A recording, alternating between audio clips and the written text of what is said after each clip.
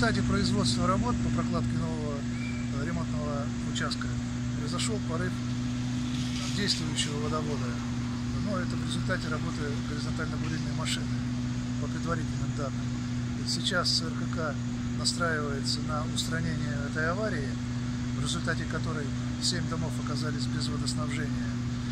Вот. Вскрытие, конечно, покажет, какие необходимо будут проводить работы, но они будут проводиться до тех пор, пока не будет устранена полностью причина э, ну, этой аварии.